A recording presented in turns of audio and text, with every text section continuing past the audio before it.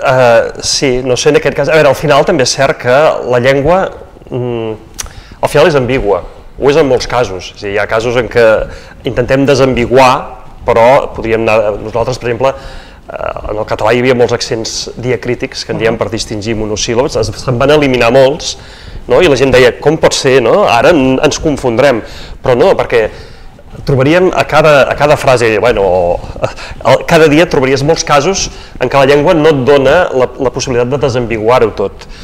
Jo crec que aquí mm, potser passa el mateix, és a dir, estem intentant, eh, potser en aquest cas en concret, no, doncs donar, separar, mm, una, desambiguar, potser mm, i no, no, és, no és necessari sempre. Eh? Potser doncs, en aquest cas, ja dic, eh? no, no sé, jo no tampoc tinc la resposta, no sé, sí, que hauria, igual que tenim un masculí genèric, doncs s'hauria d'entendre que, que es pot identificar en el masculí, malgrat que diria, home, però jo no em sento masculí. Això és cert, però crec que trobaríem eh, molts casos eh, que no distingim, perquè tu a vegades pots arribar hi ha paraules, no?, que encara aquell mite que no és cert, no?, com igual que tu a la neu, no?, diu que els esquimals tenen no sé quantes maneres per dir, no?, i nosaltres doncs fa falta.